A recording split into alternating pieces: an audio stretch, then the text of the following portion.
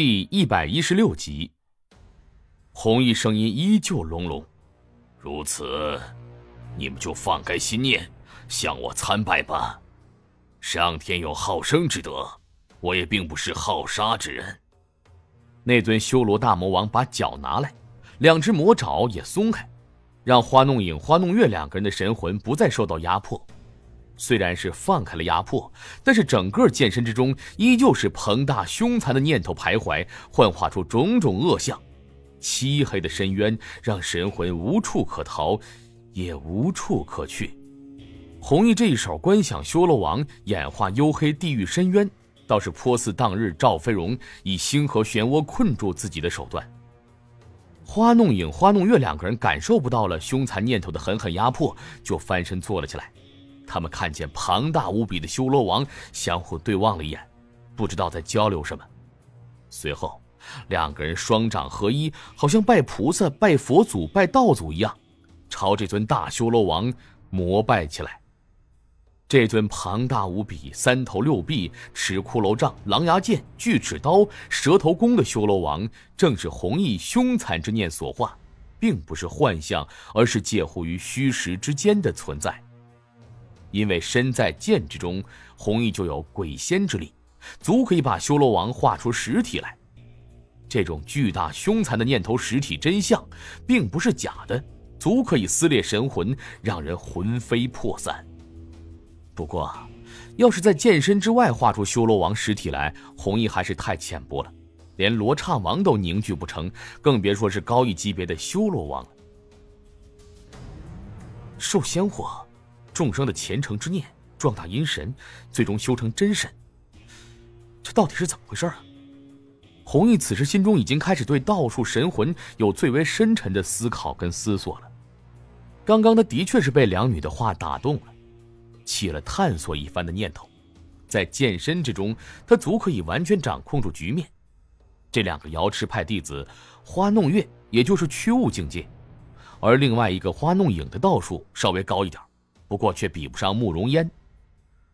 这样的道术修为，就算在外面对拼的话，弘毅也浑然不惧，更何况是在剑身里面的。庞大的念头在双手合十的花弄影、花弄月两女身上扫来扫去，弘毅就渐渐的发现，这两女的神魂散发出一种奇怪的念头，这股念头非常的真诚虔诚，完全是向自己敞开所有的一切。包含着信任、信赖、软弱，种种种种。这就是香火、愿力的念头。弘毅感受着两女的念头朝自己神魂中缠绕而来，并没拒绝，而是长长的吸了一口气，让这股念头快速融进了自己的神魂当中。虽然这种念头，弘毅如果不想被缠绕上来，随便一个观想就能够打散。但是他是想尝试一下，到底什么是所谓的香火愿力。当年他读李岩的《草堂笔记》，对方就提到了众生香火愿力，成就神佛。弘毅心中一直揣摩香火愿力到底是个什么东西呢？现在终于感受到了，这种念头可以壮大自己的神魂。弘毅把这种念头吸纳进神魂之中，就感受到了一种充了气的膨胀，又好像是吃了一顿补药。他的的确确的感受到了自己的神魂在壮大。难怪，难怪天下许多的道士修炼者都建立宗派，让人膜拜、敬仰、供奉。原来香火的愿力念头真的可以壮大神魂啊，比任何的灵丹妙药都要来得迅速。弘毅切切实实的感受到了这种念头对壮大神魂的好处。当弘毅感觉到这股念头充实壮大神魂所带来的好处时，突然间，许许多多潮水一般的念头记忆涌进了弘毅的神魂当中。这花弄影、花弄月两个女人一生的经历、记忆、武功、道法、喜怒哀乐、悲苦愁等等等等，无穷无尽的情绪，还有庞大无比、杂乱无比的念头。瞬间，红衣就好像是经历了两次师姐转世一般的恐怖。这两个女人平生的种种经历，都带到了他的念头当中。这两世的人生经历，转瞬之间就把他的神魂本性冲得摇摇欲坠。原来如此，原来如此啊！接受了别人的香火愿力，就可以了解别人的一生记忆、经历、喜怒哀乐。这种庞大的冲击，不亚于师姐转世的胎中之谜啊！难怪，难怪说接受香火愿力成就神通不是正道了。在瞬间的冲击下，弘毅简直相当于两次师姐，经历了花弄月、花弄影两世的记忆。在这样庞大的冲击下，就算是鬼仙也承受不了。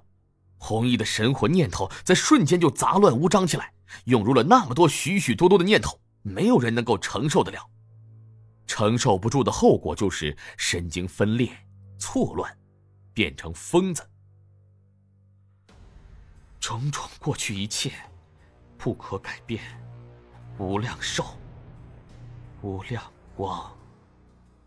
在这危急万分的瞬间，弘毅平时修行的过去经终于发挥了作用，同时，他的心中更加明悟，更加的知道为什么大禅寺的三经要同修才能超脱彼岸。过去经保持本性，现在经。称霸世间，未来经接受香火。三者联合，有无上不变的本性，有称霸世间的力量，能在未来凝聚无穷无尽的香火愿力，超脱最后之境，达到无上之永恒。他的念头开始散乱了，我们的压力减轻了很多。花弄影突然放开双手道：“不错，想不到。”想不到他居然不懂道术，居然真的敢接受我们的香火愿力。虽然我们的所有底细、所有武功道法都被他知道的一清二楚了，但是他也快要崩溃了。以他的神魂定力，不可能坚持得住。花弄月长长吁出一口气道：“我们现在怎么办？是等他的神魂分裂、崩溃、念头瓦解，还是先出去？当然是先出去。”稳定住局面，别忘记了，我们还要捉拿金珠。但是这口剑可是阴阳桃神剑，无上之宝，拥有这剑，立刻就会拥有鬼仙的御剑力量。这口剑的重要性，却是比捉拿金珠都要重要许多。那就等一等。两女相视一笑，一种计谋得逞的韵味荡漾起来。哼，你们不要再等了。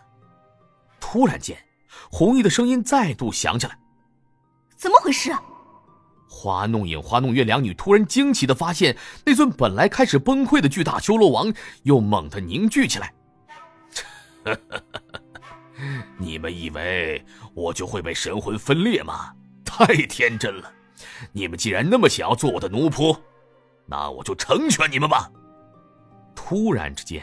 大修罗魔王的双爪猛地抓射下来，捏住了两女，突然间就化作两条黑气，钻入了两女的神魂之内，随后就无影无踪了。然后这一瞬间，两女就产生了一种念头，好像自己被剥的精光，所有的一切都呈现在红毅的眼皮之下，自己的任何念头一动，就肯定会被红毅知道。同时，他们心中又泛起了另一种感觉，就是红毅的任何一个念头，他们都抗拒不了。也无法抗拒，哪怕是弘毅现在立刻让他们在大庭广众之下脱掉衣服，他们也会执行这个念头的，因为刚才他们已经完全放开了自己的心灵防线，使得弘毅的念头留在了他们的心里，留下了烙印，就好像是弘毅在逃生剑中留下烙印一样，随时都能够驱动剑和剑产生微妙的感应一样。你。你为什么？此时，两女已经大惊失色，面面相觑，完全说不出完整的话来。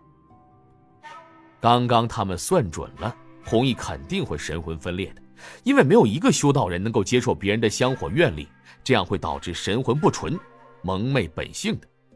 但是他们没想到，弘毅居然修炼了过去弥陀经这种无上的经文，本来就是保持本性不昧的。他们这下一失算，就立刻导致了万劫不复。现在他们虽然没有任何损伤，也没有任何的失控，也保持着自己的思想和个性，但是，他们已经完全抗拒不了弘毅的命令了，就真的好像是虔诚的教徒一样，无法抗拒神佛的旨意。他们完完全全的成了弘毅的奴仆，这完全是他们自找的。不敞开自己的心灵向弘毅膜拜，就算是弘毅神魂再强大十倍，也只能毁灭他们，却控制不了他们。出去吧。弘毅感觉此时一切尽在掌握当中。然后就遁出了诛邪逃神剑，随后神剑归鞘，阴神归体，睁开了眼睛。就在这一归鞘的同时，花弄影、花弄月的神魂也归了鞘。在场众人都没明白发生了什么事儿，只看见红衣跟花弄影斗剑，一下震裂了蓝驼金木剑，随后便停在空中很久，最后又飞回去了。弘毅这一归鞘，场面异常寂静，谁都不知道发生了什么事儿。两方人马依旧对峙着。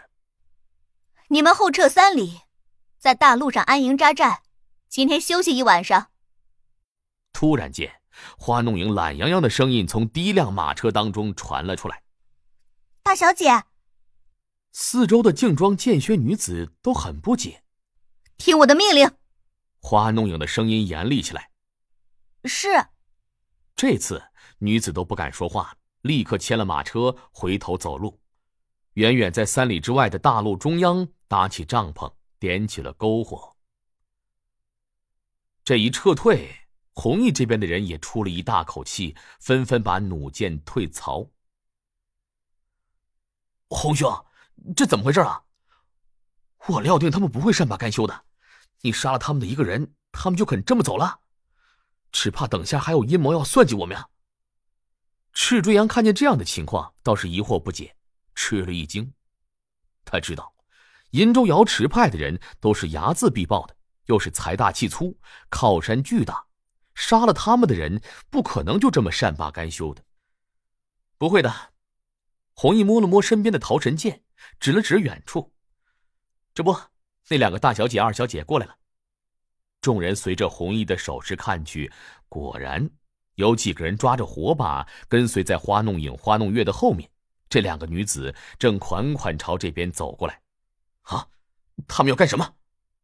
赤锥阳随手一抽，冠红弓就到自己手上了，凋零剑也搭上了，远远的指着那两个女人。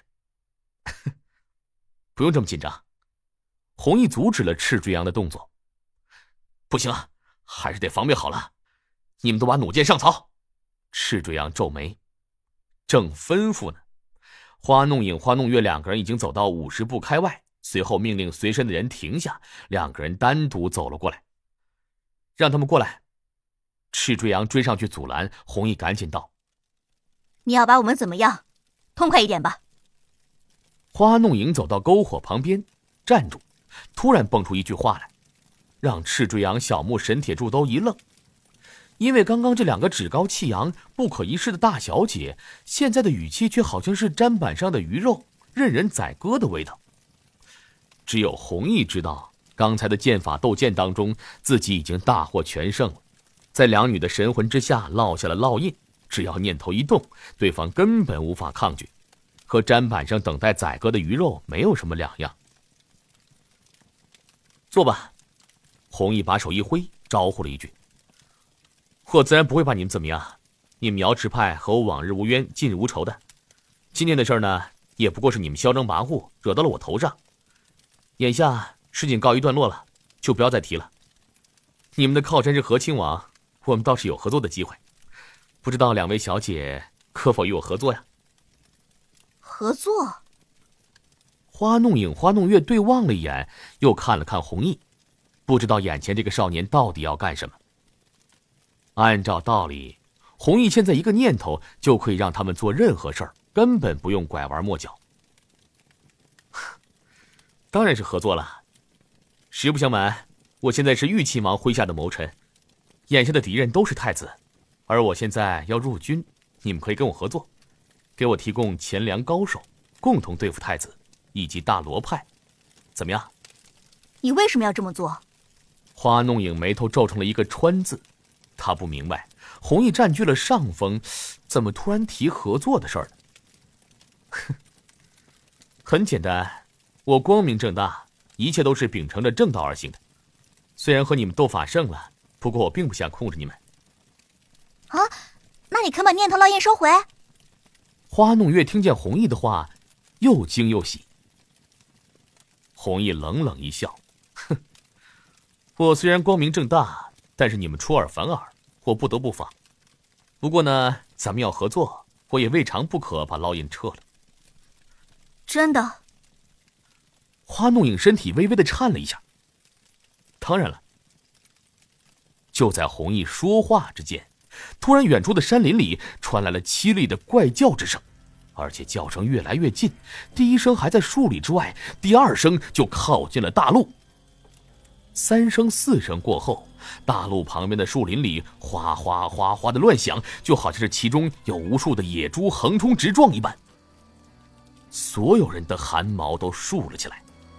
突然之间，一声凄厉无比的怪叫在众人耳边回荡起来，在树林中突然蹦得出一个金灿灿的影子来。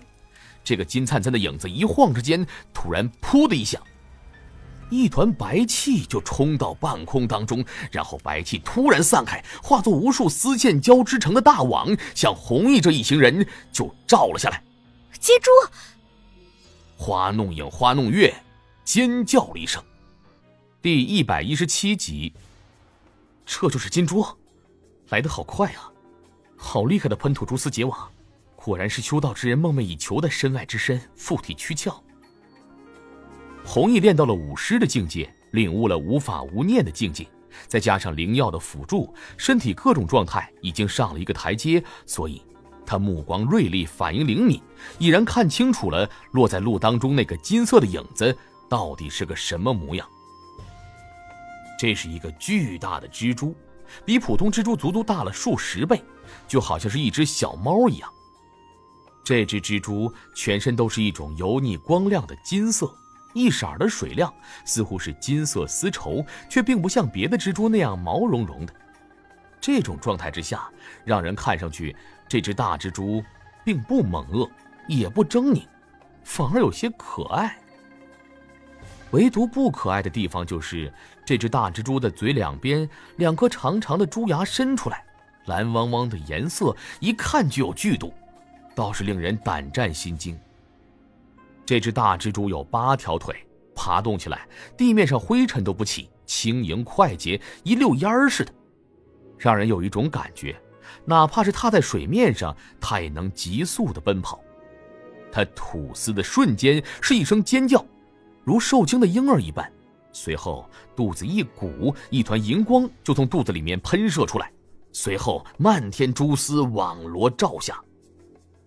弘毅从来没有看见过这么奇怪的蜘蛛，他心中暗暗惊叹造物之神奇，天下之大无奇不有。不过他却没有半点的犹豫，他阴神豁然一下冲出顶门，凝聚了月光，化作了光王之身，撑住了落下来的蜘蛛网。这次弘毅化身的光王身显形出来，极为庞大，足足有三丈来高，身体光影却是淡淡的，远远不如缩小那么凝实。不过他这次却不是来打斗的，而是用来抵挡蜘蛛网的，自然不用那么凝实力量。天上落下的蛛丝罗网瞬间就缠绕在了弘毅的光王身之上，把这尊巨大的身体包裹成了一个银白色的茧子。好粘稠的蛛丝啊！如果就这么落下来，咱们这些人的行动力肯定会大受阻碍的。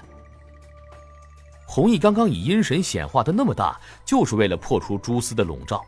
现在蛛丝一缠绕上来，他果然就感到这股蛛丝有一股强力的粘合力和缠绕力。被裹成了一尊银白色的茧子，弘毅感到巨大的缠绕包裹。如果他现在是肉身的话，绝对已经不能动弹了。哪怕是力量再大十倍，也没用。这个金珠如果降服了，在战场上对付普通的士兵很有用处啊。弘毅想到，战场上上百人持兵器这么冲过来，如果金丝这么一吐，满空的蛛丝结网把人给粘住，敌人立刻就成了待宰的羔羊。如此，你这只蜘蛛异种。就乖乖留下来吧。弘毅的心念一动，散去了光王之身，脱去了茧子的束缚。只听到“砰”的一声，空壳的剪子跌落尘埃，在地上带起了一大片的灰尘。神魂可聚可散，蛛丝网再强大也困不住无形无质的阴神鬼物。这也是显形境界明显的好处。如果弘毅刚刚还是驱物的境界，驱使飞剑上去，就这样被包住了。神魂纵使能够拖出来，但是飞剑就被缠住了。弘毅这一脱身出来，念头再动，淡淡的月光又凝聚到身上，越来越强烈，到最后，光芒耀眼，简直好像是天上的明月降落下来。重新凝聚的宝月光王身，弘毅的动作闪飘如电，呼啦一下就抢到金珠面前，伸出一只光辉璀璨的大手，照着金珠就抓射下去。这只金珠虽然有剧毒，蓝汪汪的珠牙令人恐怖。但是弘毅现在是阴神显形，刀剑不惧，水火不侵，也不用在乎区区的毒素。只听到哧哧哧哧，就在弘毅破掉蜘蛛网的时候，四面的随从也从震惊当中惊醒过来。他们哪看过这么凶恶的怪兽啊？就算是白云五老看见猫一样大的金珠，都心里面发毛。手上的连弩连看也不看就扣动了扳机，箭如飞蝗一般冲过去，瞬间就笼罩住这只金色的大蜘蛛了。你们，花弄影、花弄月两女看见这样的情况，惊呼中带着气愤：“金珠被射死了，那就亏大了。”但是出乎他们意料的是，这只金珠的行动似乎出奇的敏捷，连弩扳机刚刚驱动。金珠就以一种肉眼无法看清楚的速度瞬间移动，在满是灰尘的路面上，居然没有印下脚印来，瞬间就到了三十步开外。飞黄连弩射了一个空，不是落入树林里，就是插入地面下。赤锥羊也吃了一惊，这种身法速度，比起赵飞荣当日都差不了多少啊！赤锥羊想，如果这只金猪朝自己扑过来，恐怕连闪避都困难。不过，红衣的速度也丝毫不逊于这只金猪。金猪一动，他的手抓射也跟着过去了。阴神光身在空中划出一道长长的光轨，如流星拖出去的尾巴一样。宝月光王身本身就是一团光凝聚而成的，轻盈灵动，比肉身要快十倍，自然跟得上灵巧的金珠了。又是两声尖锐的叫嚷。这只金猪也好像是知道遇到的境地一样，见到弘毅这个光人狠狠在后面张牙舞爪的抓射，立刻调转身体，嗖的一下就往林子里面钻去。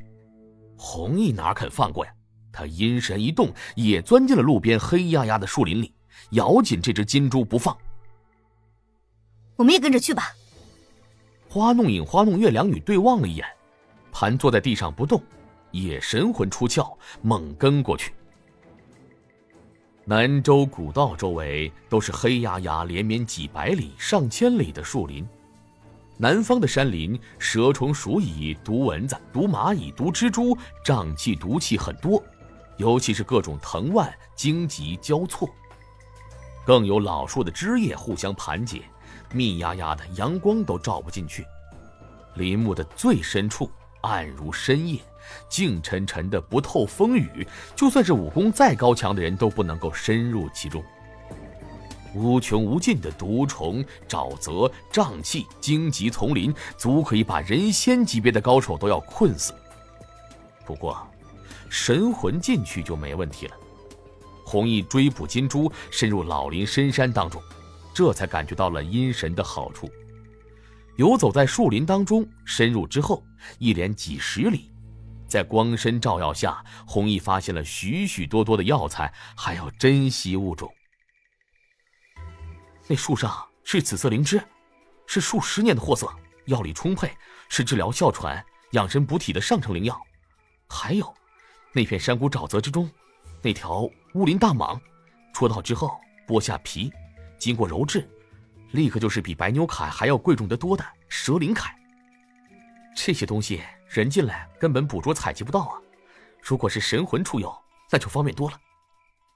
弘毅此时又知道了修炼道术的一大好处，最起码现在这种情况下，就算是人仙高手进来这片茫茫的密林采药也不容易。就是那条沼泽之中的乌林大蟒来说，方圆十多里的沼泽潜伏在泥泞之中，就算是千军万马都奈何不了。但是，只要神魂到了驱雾境，就能够轻而易举的捕捉到手。等我安定下来，倒是可以神魂出游，入那些险地采药，捕捉一些珍稀来。不过，神魂能不能入水啊？如果能入水，进入深海当中，不是可以采集大珠宝石吗？哼，那不是想不发财都难吗？难怪那些和尚道士都喜欢幽居深山、海岛之中，都是寻访奇异。探寻幽静，搜刮宝物，神魂出游，那可比身体要方便了一百倍、一千倍啊！弘毅想到这儿，心神一动。不过这个念头在弘毅心里只是转了一下，就压下去了。当下还是先抓住这头金猪异种再说吧。弘毅可是听赤锥阳说过，这金猪通人性，报复心极强，一旦逃脱，以后伺机报复也是难以对付。身后，花弄影、花弄月两个人的神魂也飞速赶过来，前面的金猪却已经钻入了沼泽当中了。沼泽泥泞、腐臭，人要是陷进去，立刻就要遭受灭顶之灾。但是金猪却轻盈无比，几点就窜上去了，在其中飞快的奔走，如履平地。这蜘蛛的动作，真可以比得上是武学大师了。在这样环境的密林、南方沼泽里。大宗师也对他无可奈何吧？弘毅心中想着，却运足了全部的神魂之力。他忽然一下加速，光王之身再次拖出长长的光尾，夹杂着破空的呼啸，凌空猛扑而下，如老鹰抓射地面逃命的小白兔一样，一把就捏住了猫一样大的金珠。金珠一抓到手，红毅就感觉到了猛烈的挣扎，自己以这显形的力量，居然还有些抓摄不住了。红毅的神魂之力逐渐的凝聚，虽然在最初的阴魂出窍的时候只有肉身一半的力量，但是经过逐渐的修炼，一举踏入显形境界之后，凭借着过去经的修炼，力量已经大增。现在这宝月光王身的身体已经和肉体的力量不相上下了，也是武师的境界。武师境界的力量号称是虎力，也就是相当于一头凶猛的老虎。以老虎的大力，牛马都能够慑服住，何况是一只小小的蜘蛛呢？但是，弘毅现在抓住金珠，对方剧烈挣扎怪叫，似乎比老虎的力量还大。老虎一样力量大的蜘蛛吗？这还是蜘蛛吗？弘毅心中震惊了。为了彻底镇住这头金猪，他只得法武齐出，黑魔乌鸦阵。猛然抓射之间，弘毅的念头一动，施展出了从慕容烟那里学来的黑魔乌鸦阵。这黑魔乌鸦阵只要一施展，不论是人还是动物，都立刻眼前一片漆黑，灵魂被镇压，动弹不得。当然，弘毅并不想施展夜叉王，夜叉王要一放，这头金猪的灵魂肯定会被打灭的。哼，这下抵挡不了了吧？弘毅在施展出黑魔乌鸦阵之后，心中吁了口气，但是，出乎他意料的是，黑魔乌鸦阵刚刚发出念头之中，一片黑暗笼罩了这只金猪的神魂，但是对方的神魂并没有受到镇压，而是突然之间产生了异常。哼！一声娇滴滴的冷哼响彻在弘毅的神魂之中，随后弘毅就感到。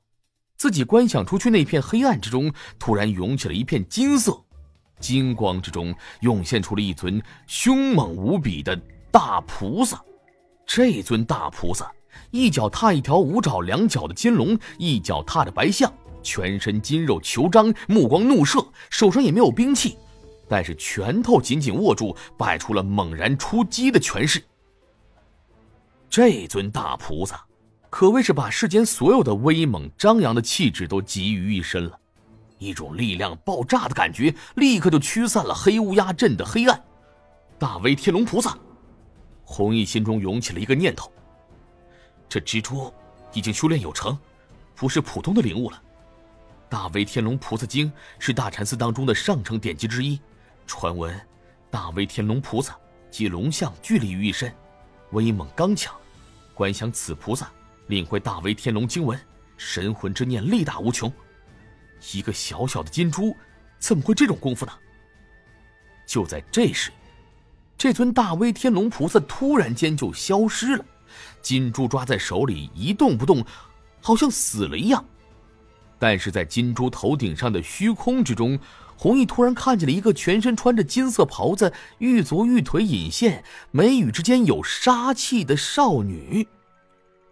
快点放了我的身体！这尊少女眼睛盯着弘毅，发出声音：“你，你居然练成了阴神，这么奇特啊！”弘毅一看，倒是让他想起了那几只小狐狸。不过，以你的道术，显形都没成呢，怎么会是我的对手呢？我这宝月光王身，月光凝聚显形，专伤神魂，你还是不要轻举妄动为好。你怎么会大威天龙菩萨关呢？弘毅猛然问道。关你什么事？快点放了我的身体！金珠阴神恶狠狠的道。哼，看来你是不见棺材不落泪啊！弘毅把手一送，大金珠放下，手上多了一柄三股钢叉，正是夜叉王的恶念所化的。感觉到了恶念之差，金珠阴神就变了脸色，突然退了几步，再次狠狠道。你这样对我，我爷爷不会放过你的。你爷爷？花弄影、花弄月相互交换了一下眼神，突然道：“你爷爷莫非就是金珠法王？”第一百一十八集。不错，我爷爷就是柔然大国师，天下八大妖仙之一的金珠法王。我只不过是出来散散心，你们为什么要追杀我？金珠阴神所化这个金袍女孩语气突然强硬起来，但是看着弘毅手中那杆大钢叉，眼神之中还是显示出了一丝恐惧的神态。哼，柔然化外蛮夷之地，什么国师不国师的，也来大钱摆威风。弘毅把手中钢叉扬了扬，冷笑的盯着金珠阴神道：“别说是你了，就算是金珠法王这种妖孽来我大钱拦路杀人、吃人、喝血。”也是有去无回。说，你为什么要来大钱？还居住在这黑木山当中，杀害南州古道上的行人客商？谁杀害行人客商了？金珠阴神往后退了一步，看着红衣，似乎想从他脸上分辨出什么东西来。是那些人要抓我练身外之身，难道我反抗都不可以吗？抓你？你反抗？那你今天是怎么回事啊？为什么突然跑到路中间来？还喷吐蜘蛛丝，想困住我们呀！弘毅丝毫不为金珠阴神的花言巧语所动，只是把念头锁住这个阴神，只要对方略微有轻举妄动，立刻就一插插死。这头金珠的道术修炼并不精深，也就是阴神初成。不过，动物能够修炼到这样的境界，也算是高深莫测了。要知道。弘毅得到无上典籍《过去经》都花了很长时间，才突破到夜游、日游，到达驱物的阴神境界。幽谷之中的土老修炼了几十年，也不过是日用。我知道他们是来抓捕我的，我当然要先下手为强。金柱阴神一指后面的花弄月，花弄影发出了哼哼的声音。哼，前些天我杀了几个瑶池派的弟子，也是来抓我的。今天看见他们，我就知道，你也是来抓我的吧？不然不会这么穷追不舍。红毅回头看了看花弄影跟花弄月，我们只以为是一只普通的金猪，却没有料到，你居然是金猪法王的后裔，还修炼了神通。难怪我们瑶池仙莲堂的人不是你的对手。花弄影看着这个金珠阴神道，花弄月更是冷笑了笑。哼不过你现在还跑得了吗？既然你不是普通的金珠，我们是万万不能放过你了，否则让你回去告诉金珠法王，岂不是为我们瑶池派增添麻烦？说罢，两女看着弘毅，神色很明显是要弘毅赶紧下手。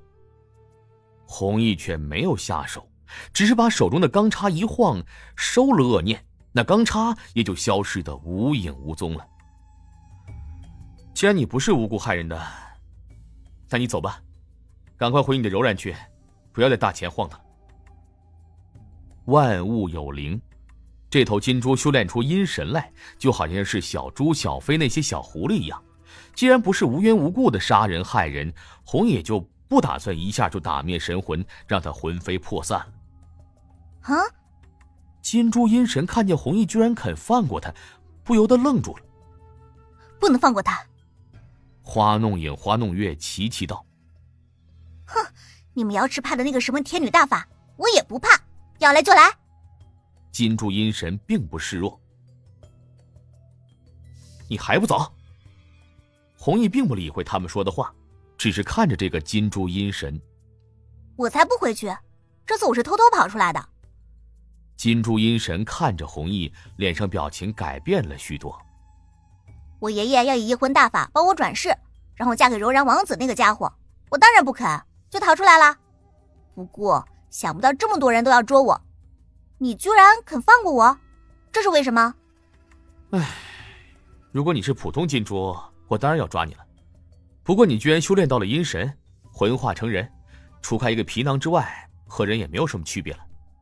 弘毅道：“哦，这就是你们人所说的道理。”金珠阴神听见弘毅的话，眉头皱了皱，似乎在思索什么，随后道：“你居然能凝聚月光成形体。”好像，好像修炼的宝月光王身，这种手段是大禅寺的秘经之中才有。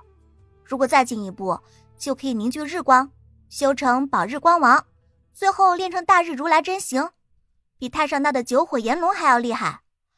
真厉害啊，真厉害！我爷爷迟早要来抓我回去转世成亲的，我正好要人庇护。你这么厉害，就庇护我吧，我可以给你财宝雇佣你。我们那里的规矩，只要有钱，确实能雇佣到强大的人呢。这个金珠精通秘典呢，居然能看出我修炼的是宝月光王身来。弘毅听见金珠阴神这样一番话，心中暗惊，猛然问道：“你刚才施展的可是大为天龙菩萨关吗？这种道术修炼出的神魂力量极大，也是大禅寺的典籍啊！你从哪儿弄来的？”我爷爷当年到大禅寺藏经阁。悄悄的偷出来的，典籍可多着呢。金柱阴神道：“你受不受我雇佣？你如果受我雇佣，我就把这种修炼之法告诉你。这门经书可是法武两道修炼之术，除了神魂修炼之后，《大威天龙菩萨经》之中的龙象法印，可是你们人类修炼的什么武功？这些武功我可就是都知道的。你只要是我雇佣三年，三年时间就足够了。龙象法印。”弘毅听见之后，念头剧烈跳动起来。他读过印月和尚注解的五经，弘毅知道，龙象法印是一门极其高深的武功，以练髓为主。天下武功千般百种，练肉筋骨皮、脏腑吐纳的法诀虽然珍贵，但是如果是达官权贵、势力极大的人，都是可以弄到的。唯独更高一层的练髓的秘诀，却是根本弄不到。但凡是练髓典籍，犹如价值连城的传国玉玺一样，一旦出世，立刻会带起无穷无尽的腥风血雨。因为拳法超越先天，达到大宗师境界之后，就要开始练髓换血，向脱胎换骨的武圣迈进了。而练髓的秘诀，正是这一关口大门打开的钥匙。有了练髓秘诀，就能够肉身成圣，成就武圣之境界。没有练髓秘诀，哪怕你是天纵奇才，练武一百年，也只能在大宗师踏步，不能进入武圣。弘毅现在拥有了灵龟吐息法、天蛇射息法，从先天境界到大宗师的练脏腑却是不缺了。但是，要突破大宗师，进入武圣，就必须要有练髓的法诀。没有练髓的法诀，弘毅就算领悟了无法无念的境界。也是镜中花，水中月，最多到大宗师的初级就止步了。什么？这花弄影、花弄月听见这个话，也是万万没想到，一个小小的金珠，居然身上蕴藏了大禅寺的宝经，至高的炼髓秘诀。龙象法印可是大禅寺武道至高神通，练成之后可以成就武圣，力大无穷，有龙象巨力。这种拳法可是仅次于传说之中人仙秘典《现世如来经》之中的大雷音法印。花弄影、花弄月叹息起来，像看傻子一样看这头金猪阴神，不知道对方是愣头青呢，还是真的像是三岁的小孩一样天真。弘毅听见这话，想都没想就答应了。哼，好，我可以保护你三年。说实在的，这样的好事儿没人能拒绝，就算以后什么金珠法王找上门来，那也是以后的事儿了。那好。在这林子之中，我也待得厌烦了，出去又要被人杀。现在总算是请到一个道法高强的雇佣兵，真不容易。哎，出去之后我要喝牛奶红茶，你可要每天给我准备，还要把我藏得好好的，不要被人看见了。我可想天天安安稳稳的睡觉，不被人打扰。还有，我要睡绸缎被子，喷玫瑰花露，还要洗牛奶浴，我可不喜欢异味。一哥哥进去林子很久了，怎么还没有回来？马路上，小木焦急的望着林子里。穆小姐，放心吧，一只金猪而已，红兄是神魂出游，没什么危险的。赤锥羊安慰小木，言语之中啊，却透着一丝恭敬味道，因为赤锥阳知道小木很有可能是宇文太师的转世之身。就在两个人说话之间。一个光人猛然从树林当中飞了出来，正是弘毅的宝月光王身。唯独不同的是，弘毅的光身肩膀上啊，还附着一只小猫一般大小的金猪。这这是？赤锥阳看见弘毅神魂归窍，金珠落到地面上，悠闲的散着步子，好像一只踱着方步的金丝猫一样，不由奇怪的问道：“红红兄，这是降服了金珠了？”我记得金珠性情暴烈，不容易降服啊。哼，降服啊！我没降服他，只是跟他做了一笔交易而已。弘毅睁开眼睛，看着猫一般大小的金珠，他可不是一般的金珠啊，这是柔然国金珠法王的孙女，逃婚出来的，是要雇我们保护他的。这蜘蛛逃婚呢，还还雇人呢？听见红毅这话，在场所有人的眼睛都瞪得巨大。好像发怒的牛一样，人人心里均有一种匪夷所思的感觉。而这时候，这只金猪哼了一声，嘴里发出怪异的但是听得懂的声音：“哼，你们看什么看？我要睡觉去了。”说着，把牙齿缩了回去，慢条斯理的爬进了帐篷之中。我靠，金猪还会说话呀！在场的人里。包括白云五老、黑曜三兄弟，连带五个士兵神铁柱，都有一种要晕过去的感觉。弘毅看见过土老那只狐狸说话，倒也不惊讶，只是对赤锥阳道：“这只金猪大前语说的倒是挺好的，既然是柔然国的金猪，按道理说，要说柔然语才对啊。”赤锥阳道：“金猪法王在大前修行游离过，柔然国的王公贵族都会学大前语的。”就在这时候，花弄影、花弄月两女也神魂归窍，睁开眼睛看着弘毅。不等两个女人开口，弘毅倒先开口了：“你们是瑶池派花月堂的两位堂主，银州巨富花家的两位小姐。我们姐妹现在已经落入你的手里，砧板上的鱼肉任凭宰割。不过刚刚看你追捕金珠和一个异类谈话。”虽然占上风，却并不咄咄逼人，倒是个正人。这次的事情，我们姐妹是咎由自取。你有什么章程就说吧。花弄影此时已经安定下来，刚刚她倒是知道弘毅这个人也不是什么凶恶之徒，心也放下来。暂时是没有什么章程，不过我的妹妹缺少人服侍，你们姐妹手下应该也有不少得力的丫头。我现在呢需要八个可靠的服侍，不过。像那种嚣张跋扈的，我不要啊！弘毅不动声色的随便提了一个要求。这个好吧，我手下正好有八个伶俐的丫头，武功修炼也不错，就送给你了。花弄月一听是这个小小的要求，倒也放心下来。